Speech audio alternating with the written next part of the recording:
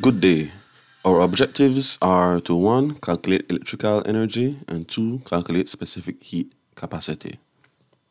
So first, let's begin by looking at some common electrical power ratings. These can be found usually on a sticker on the device. A lamp may have a sticker with a power rating of 60 double on it, which means that it is of a power rating of 60 watts. An iron might be of 1000 watts or 1 kilowatts.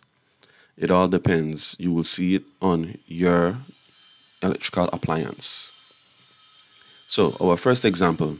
Suppose your microwave is rated at 1.25 kilowatts and is used continuously for 5 minutes. How much electrical energy does it use in this time? So we know the power is 1.25 kilowatts, which must be converted to watts. That would be 1250 watts. And the time is 5 minutes, which we must convert to seconds by multiplying by 60. So 5 times 60 gives us 300 seconds. Remember that power is equal to energy divided by time, which rearranged would be energy is equal to power multiplied by time. So the energy would be 1250 watts multiplied by 300 seconds, which would give you 375,000 joules. Our second example. An electric heater of power rating 0.5 kilowatts is used to warm a mass of 2.0 kilograms of liquid from 25 degrees Celsius to 45 degrees Celsius in a time of 4 minutes. Using this data, calculate the specific heat capacity of the liquid.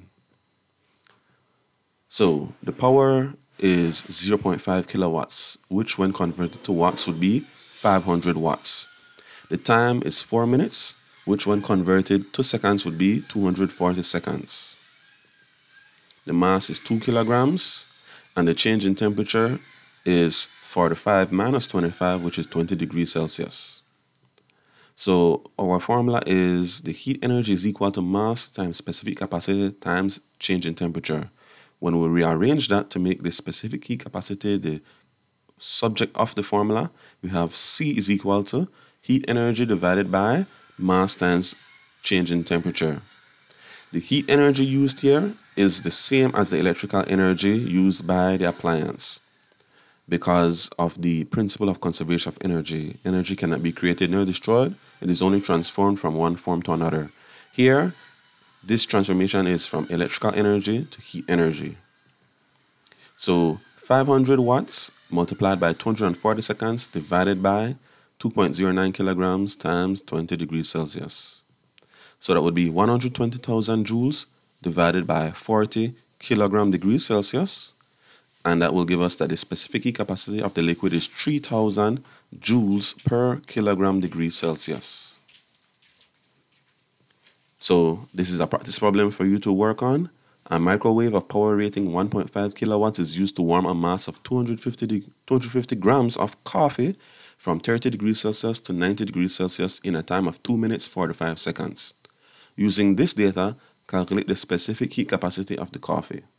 So pause the video here and solve it and then when you're ready to continue, you move on and see the solution as follows in three, two, one.